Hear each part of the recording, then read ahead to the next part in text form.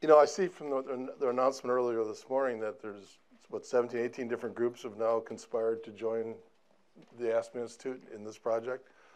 Uh, maybe we should just declare victory and go home and talk about something more important like the Red Sox cheating. well, I'll talk about whatever you want to talk about. How about that? well, can we get the Red Sox thrown out of the league? Uh, yeah. well, you know, it's interesting. I, uh, I was talking to Jake and uh, Rick Ankiel a little bit before, and uh, I think one of the things people don't realize is, uh, you know, sign stealing has kind of been an, there's no rule against it. It's kind of an accepted part of our game. Um, and, uh, it, you know, if you're on second base and you're not trying to help your teammate, you're probably not trying to win. Um, I stole your line, Jake. Where are you? but, um, you know, I, I think that uh, the, the issue is electronics. And uh, I think our sport, like a lot of businesses, has to find the right line of introducing technology into the game, but making sure that it, it, it doesn't alter the game in a way you don't intend. Yeah. I mean, it's it's part of a broader sort of a professionalization of everything, right? Right. Um, right. And that's, I mean, this is going to maybe seem impertinent, but uh, Project Play is about deprofessionalizing play. Right. About making it a more pure form of things.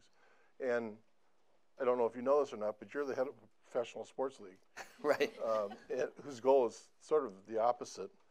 Uh, the what what the Aspen Institute is trying to do with this is they're they're insurrectionists. They're they're at the gates, well, and, and, you're the establishment. What well, the hell are you doing here? Well, you know it's interesting. Um, when um, one of the things that occurred to me after I got elected, you know, people asking about me playing yeah. baseball, and and I played all sports, but um, only played baseball through Little League. I was actually the first commissioner who ever played Little League.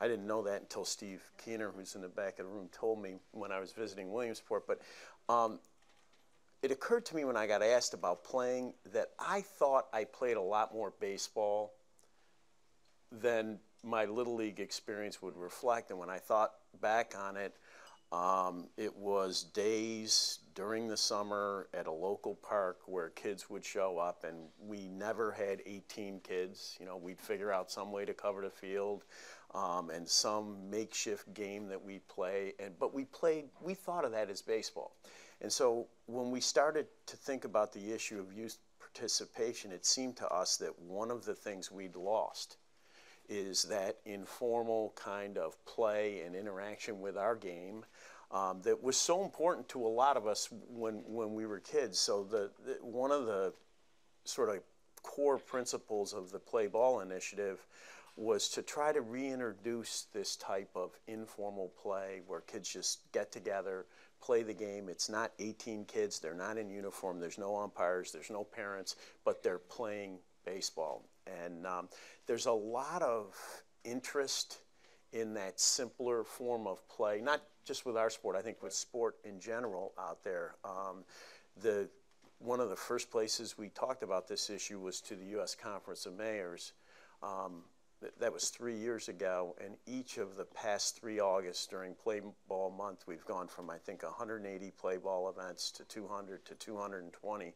And these events are just one-day community events. There's no uniforms, no, but kids get out there and play baseball-related activities. And those community events, the introduction of kids to the game on an informal basis, teaching kids that they can play the game on an, on an informal basis, we think is really important to our sport. Yeah. You know, in a way, we both grew up in small towns. Right. Uh, I'm in, from the Midwest, uh, not far from where the Field of Dreams is, and you, which is kind of a mythic idea. You grew up in James Fenimore Cooper country, which is another great American myth. And the, I, the danger I have when I think about this is that's an, a sort of an ideal form of, of that, which isn't possible. That's lost. Right. Uh, right. It's not. We're not. You're not going to recreate that. No, I, I, but I think that's why I said community-based events. I mean, literally, when I think of my childhood in the summer, you know, I have a sibling either side of me, but close in age.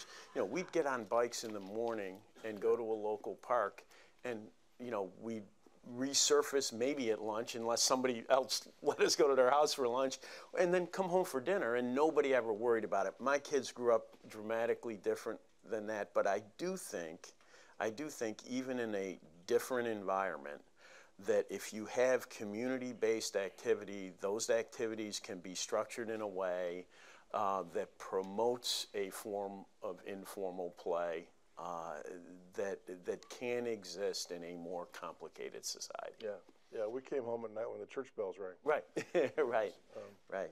I, what what's what's in this for for your your professional entity? What's in this for baseball?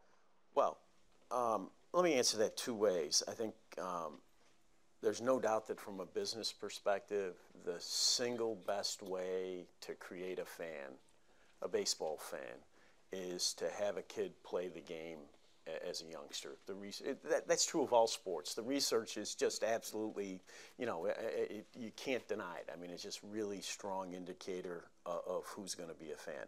So, so that's the business justification. Um, secondly, you know, baseball has always had. Um, baseball as an institution, not the game, has always had a philanthropic bent to it. Um, I think that our owners, and I know our players, believe deeply that our game teaches values like teamwork and stick to itness, the ability to overcome failure, that are really important in terms of producing, forget baseball players, really good adults. And um, I, it, there is no project that I've gone to the owners with that I've had more buy in on than the idea that we ought to be more active in the youth space, making sure that kids are playing baseball, but even if they're not playing baseball, that they're playing some sport.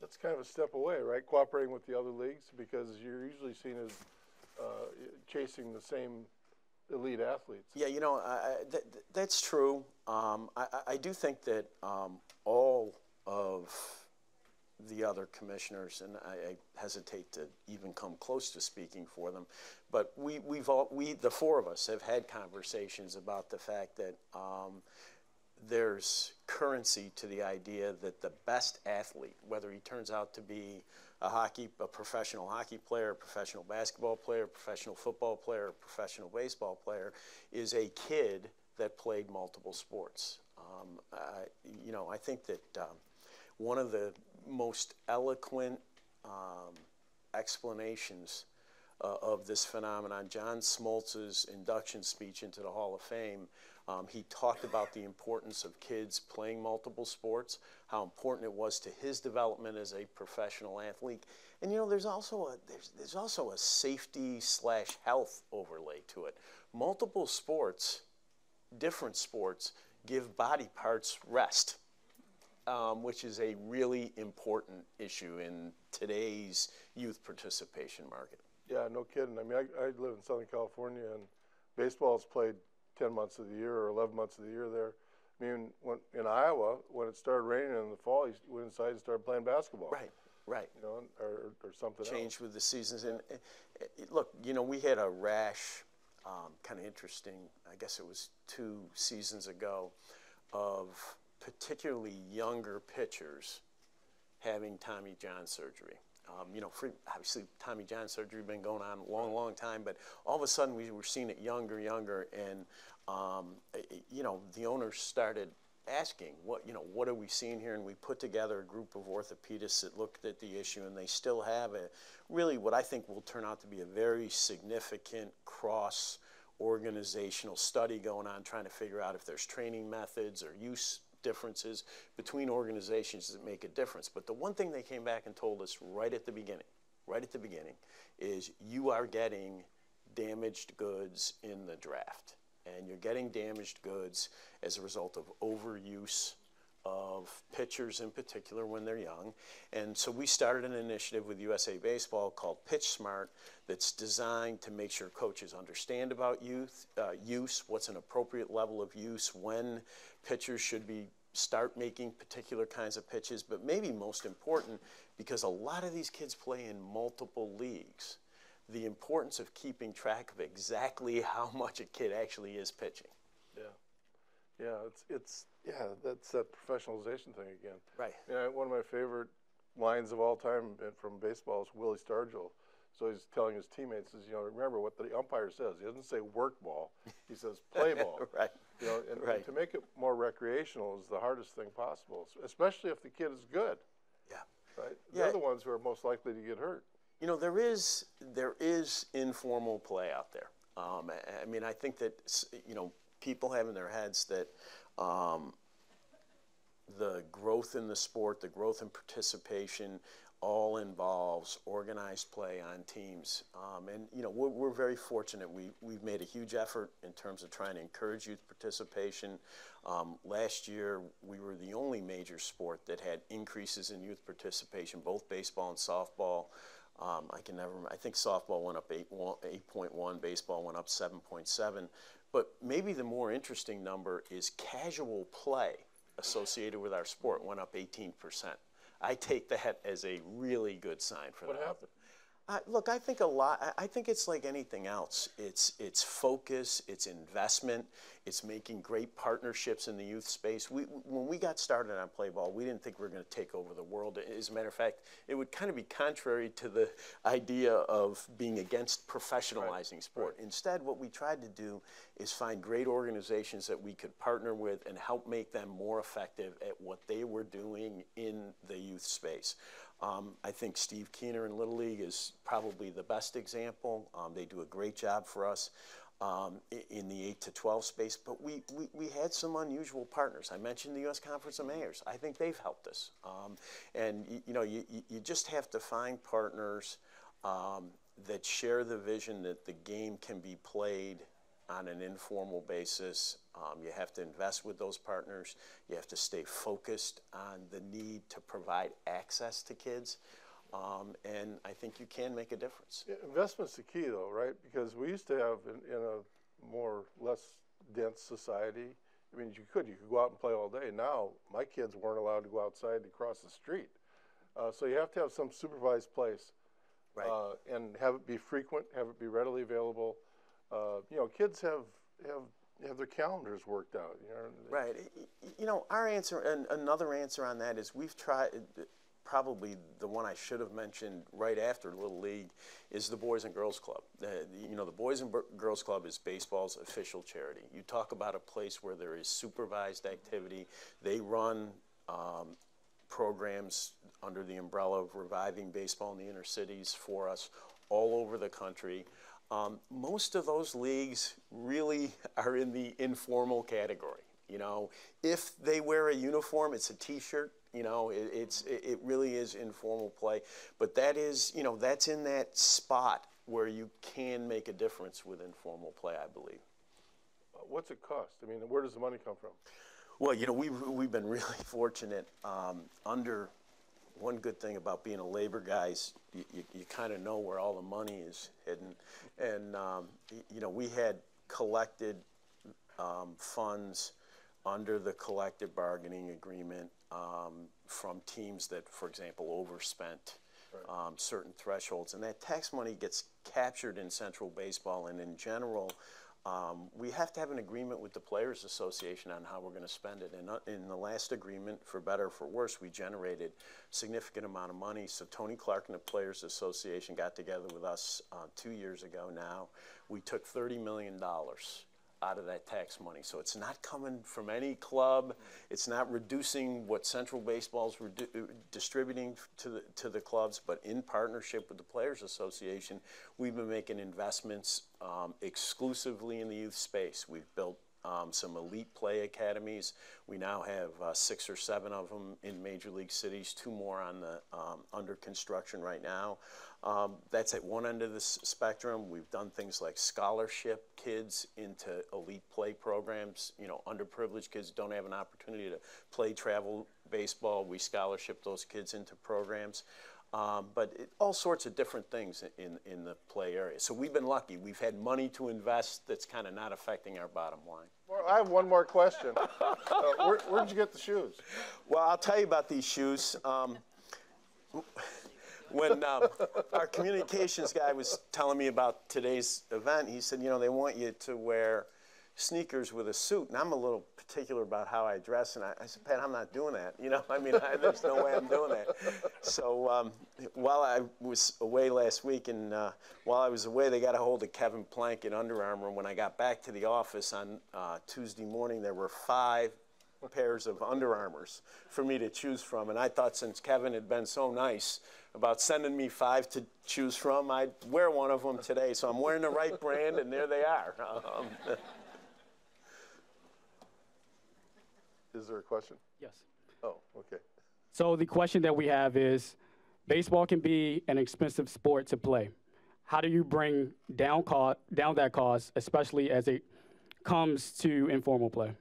Yeah, you know, it's um, this is a th- that's a really hard question, particularly given that I'm only going to get one because it is a real challenge for us. Um, we've approached it um, two different ways. Um, on the one hand, we've bought into the idea, or accepted, maybe bought in is the wrong phrase, accepted the idea there is going to be expensive, high end travel baseball that's going on. You're not going to change that. You can't change that piece of the world. And so we've responded that by that to that by like scholarshiping kids into programs that, that we know are doing a great job with kids picking out programs and, and actually paying for them to participate. Um, the second thing we've done is the urban youth academies that I mentioned. Um, ideally, we'll end up with at least 30 of them around the country. Um, they're free. Uh, we bear the entire cost, but it is high-end travel-based activity that often goes on in, in, in, those academies. Each program's a little different with a different emphasis on you know regular play as opposed to travel play, but in, in general, it's another way that we're trying to accept the notion there's going to be travel baseball and get get underprivileged kids an opportunity to participate in that. Um, on the opposite end, um, we, we believe uh, that it's important to provide informal play opportunities that are not in the travel mode. And that's what play ball is really about. Um, that kids can learn to play the game, actually excel at the game without being caught in that travel mode. We actually have time for one more question. It's rare that you get a short answer from me, so um, there you go. So our next question is, how do we get parents to understand multi-sport? You know, I think it's an education process, um, I, I, and I think that the most persuasive argument, um, and, and, it's why I mentioned John Smoltz, is that a lot of professional athletes actually believe the best way to become an elite athlete is to do multiple things as a kid. Make people understand that a lot of the players that are heroes to them that they've watched on TV were actually multi sport athletes all the way up until they became professionals. So that's one argument. The second one is the one we referred to before. I think you need to make parents understand that, um, you know, it's great to pull little Johnny out of other sports and, you know, commit to a coach who says he's going to be the next Jake Peavy, even though the kid's only seven years old. But you need to understand that you may put it, be putting that kid at risk through overuse by making him do only one thing um, and focusing on one sport throughout the calendar year. It's actually the coaches you have to get to first, too, I think. Yeah, you know, but I, look, I, I think it's hard. Um, you know, competitive people are attracted to coaching. Um, I do think you can make coaches understand the argument that you're going to get a better athlete over the long haul if he's playing three sports. Um, to, to get them not to uh, try to get the very best athlete into their program, that, that's a hard, yeah. yeah, that's a hard sell, I think.